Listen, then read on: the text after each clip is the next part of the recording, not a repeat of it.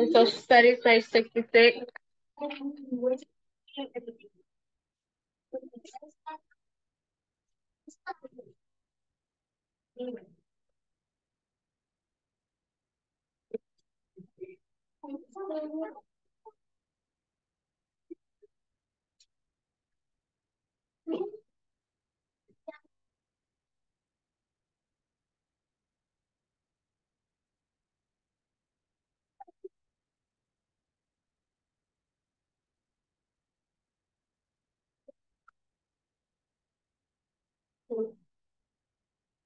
All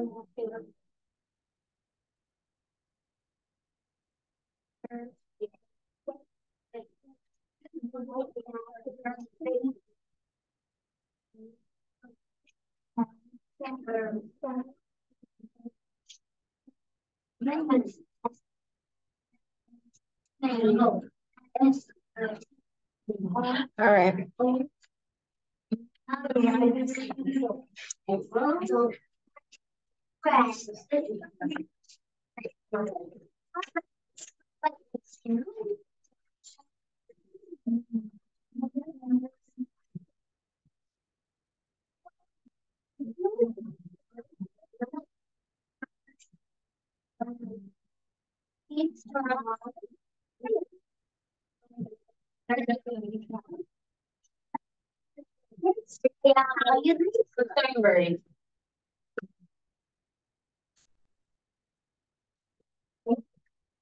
All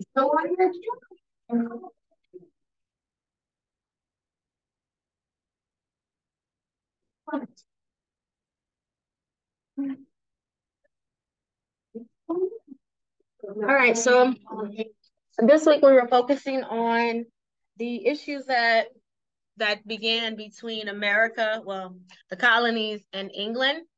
If you remember, the colonies had wrote, written the Declaration of Independence declaring their freedom from England. And while while the people in America in the colonies were excited and happy about, excuse me, the letter, they were excited about finally being free. The King of England did not feel that same way, and the King of England was not going to let the colonies become free that way. So a war began between the colonies and the King in, in England. I'm sorry, the British. A war began between the two. And they had the war. I told you the war lasted for six years. They fought in the war. It was a tough war. A lot of lives were lost. Some people gave up. They chose George Washington as the leader of the col the colony army. He was the one that led the colonies into battle. So they fought for six years, fighting during this war. George Washington as the general of the colonist army. And so after six years, the war was finally over, and America, well, the colonies ended up winning the war, and now they were completely free from the control and rule of England. So in 67, we talked about how after the war was over, they did not want to be known as the colonies anymore. One second.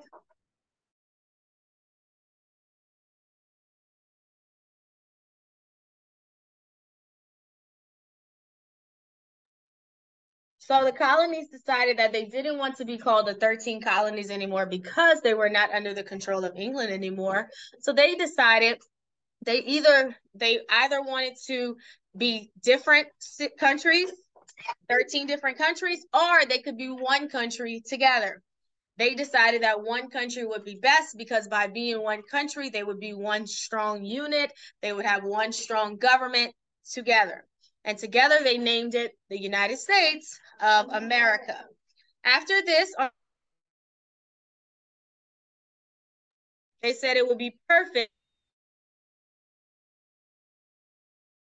transition into a country. And who did they choose? Of course, they chose George Washington because he was the general that led them to victory in the battle. And so they chose George Washington as the leader of the army George Wash, I mean, leader of the country, and he was known, he's known as the first president. That's why, like I said, America's capital city is Washington, D.C., and it's named after George Washington. We also can see the Washington Monument, which was a monument built um, for him. Unfortunately, George Washington was not the he did not live in the White House. Um, it actually was built after his presidency, but um, he was America's first country, and his nickname is the father of his country because he was the first president. So we talked about on 69 how his birthday is celebrated. It's actually February 22nd, but there is a designated holiday that is set on the calendar that celebrates Washington's birthday, but also all of the presidents, and it's called President's Day, and it's celebrated on February 20. Uh, sorry, mm, it's the third Monday in February. So every year it changes. I believe I told you guys it's February 20th. This upcoming year, next month in February, it's February 20th, and that's how it's determined every year. So the date changes every year, uh, but because it's based off of the third Monday in February. Okay. So let's go ahead and look at. No, we didn't have any questions. Yeah, they do have the Yankee Doodle song, but we're skipping that. We're not going to test on that. Okay. All right, so that is it, guys, for our social studies this week. Let's go ahead and move on to our science.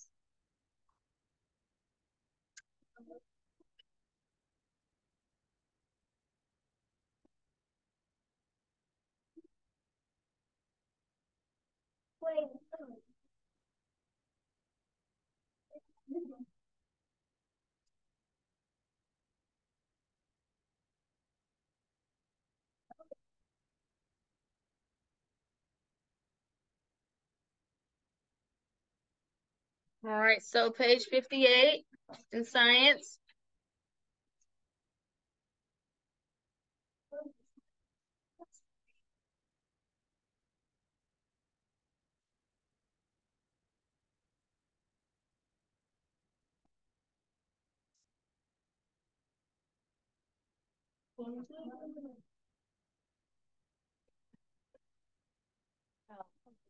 Seriously?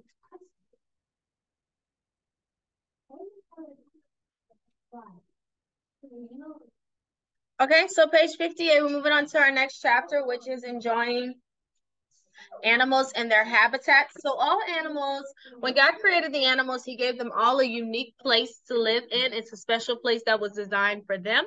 And this place is known as their habitat. It's their home.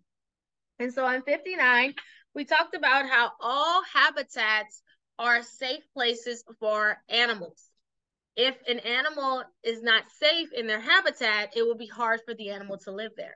We also talked about the four things that the animal needs to have in his habitat in order to survive. He needs water, space, food, and shelter. All four of those things. If an animal is missing any one of those things, it will not survive inside of its habitat.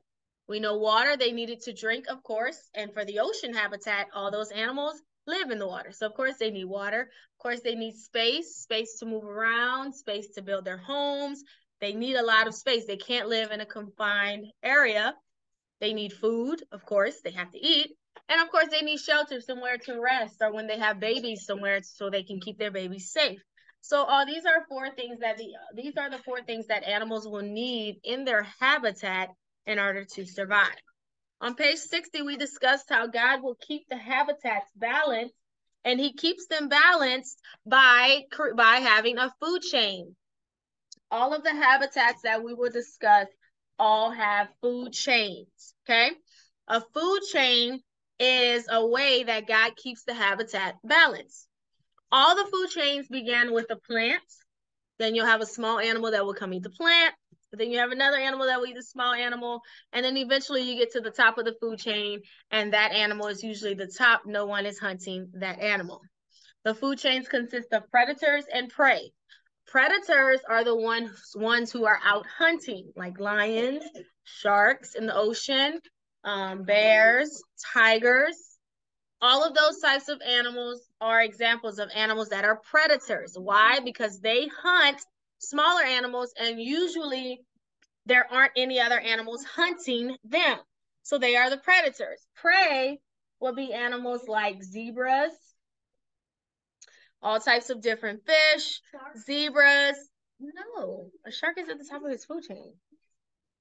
Those are examples of that's not a prey, that's a predator. Prey, those are animals that are, so it's usually smaller animals. And like I said, gazelle, gazelles, um, you know, zebras, different animals like that. They're the animals that are usually hunted, right? So all food chains, they start with an, a plant and then eventually animals will eat the plant and then another animal comes. But food chains help keep the habitat balance. You don't have too much of one animal or, or less of one animal. You'll have the perfect amount. And that's why God made predators and prey so that the habitat could stay balanced. Okay. So that's where we stopped with science. We didn't go into the ocean habitat. We'll start the ocean habitat on next week. Okay. All right, guys. So that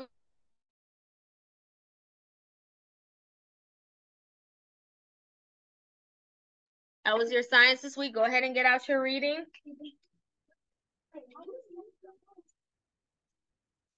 Don't tell no, don't tell him because the problem is you're not listening. You did this all day. All right, reading. Thank you.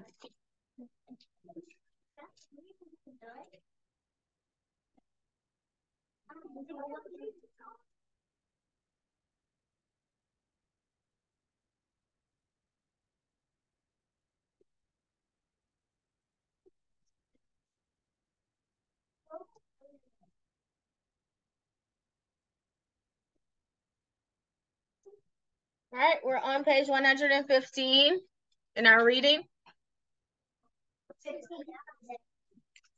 Elijah, that's not how we write our words. Start over.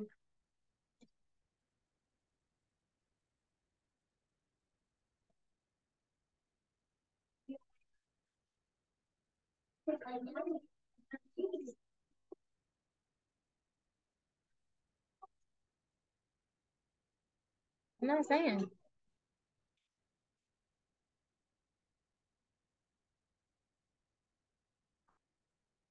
Yeah. I'm talking about them that are. Okay, 115. All right, Dennis, you want to start us off on 115?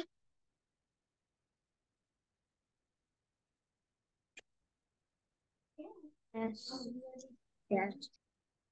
Okay.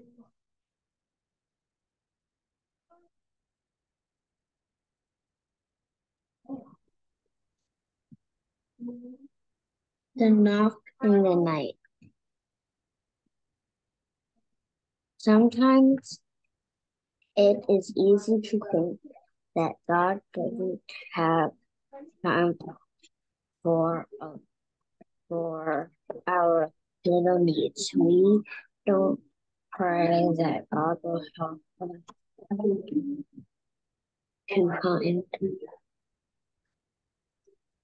lost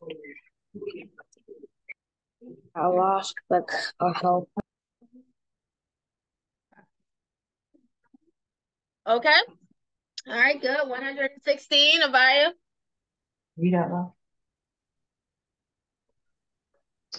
Where are or help us be kind, be a kind friend. We think things, we think things like that are to pray. If we keep asking God's help for what we need, even the little things, He will happily give us what we need. God loves us very much and wants to give us gift, good gifts. Okay. 116. Or 17. All right, Faith.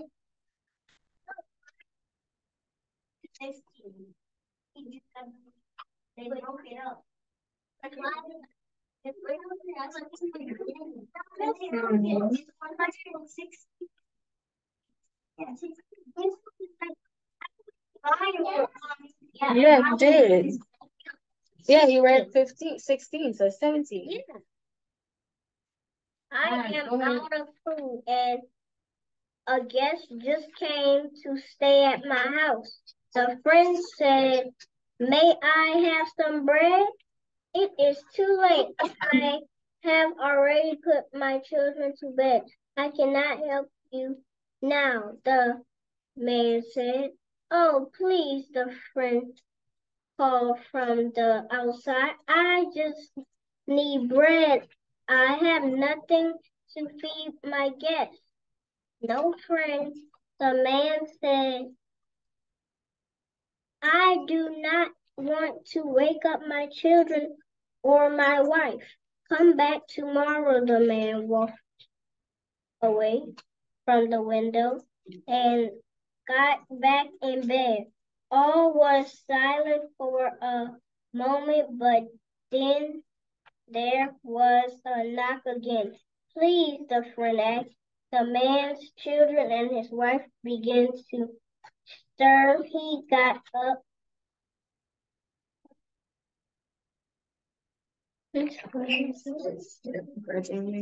grudgingly and went to the table.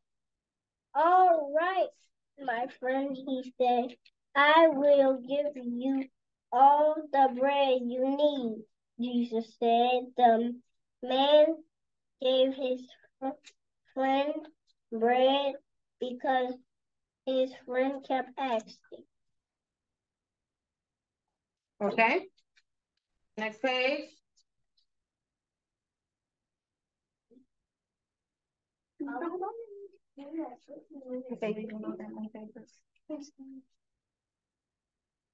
Hopefully they finish. If we keep asking God, God for what we need, even the little things He will give us what we need. God loves us very much and wants to give us good gifts. Okay. All right, good. All right, yep, that's it. No. Oh.